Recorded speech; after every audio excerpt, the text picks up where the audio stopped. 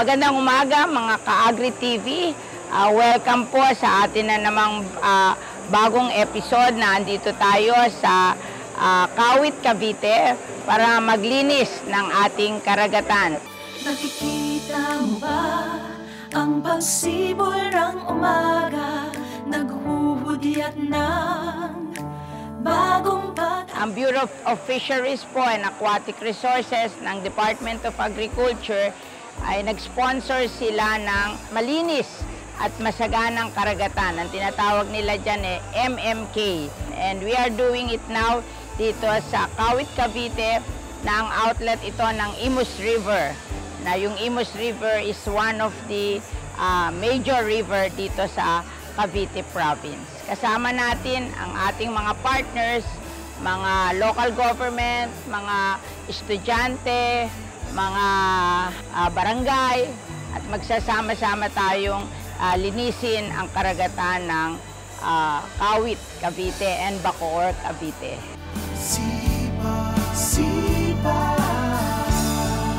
Tayo ngayon, bukod sa paglilinis, magtatanim tayo ng mangrove. Kasi ang mangrove po, yan ang spawning ground of fishes sa Manila Bay. Pag marami tayong mangrove, dyan ipinapanganak yung mga isda at yung mga fingerlings na pumapasok sa Manila Bay, dyan ang gagaling.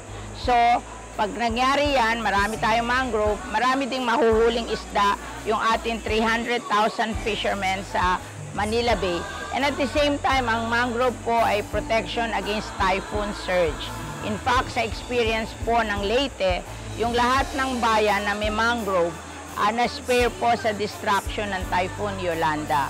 Kaya tayong lahat, dapat yung mga bayan natin, yung coast, lagyan natin ng mangrove para pag dumating yung typhoon, hindi madamage yung ating mga bayan.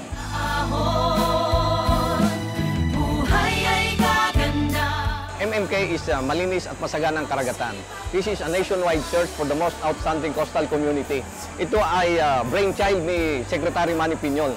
Yan ang sinabi niya sa akin kasi nakita niya na ito ang pinakamagandang proyekto para ma-address natin ang limang issues or more issues tungkol sa preservation, conservation, sustainability, traceability, accountability, and transparency with our environment that produces directly food like the ocean.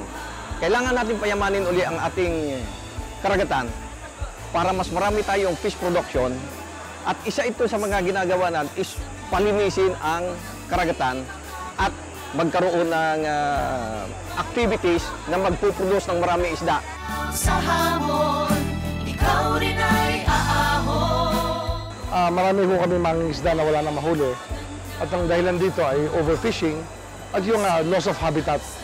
At ah, kung ang habitat niya ay marirestore, sigurado tayo yung mga isda, mayroong lugar kung saan sila pwede manganak at ah, yung mga anak nila ay lumaki na naging mas, at maging mayaman muli yung karagatan natin. Iwasan natin na magtapon ng basura sa tubig, sa mga, kahit sa mga ilat, kahit sa ilog, sapagkat lahat po yan pupunta sa dagat. Pagdating sa dagat, malaking disgrasya po ang mangyayari sa atin. At pangalawa, sana maging, ah, magising tayo sa katotohanan na napakahalaga ng mangroves sa existence sa, sa ating pamumuhay. Kaya suportahan natin itong proyekto at activity na ginagawa ng BIFAR at ni Senator Cynthia Villar.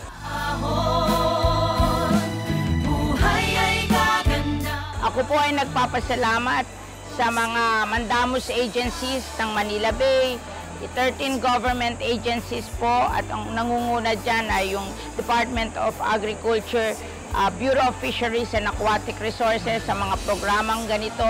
Ah, ngayon taon po, lahat ng probinsya along Manila Bay ay bibisitahin namin at magkakaroon kami ng programa nito, yung tinatawag nating malinis at masaganang karagatan.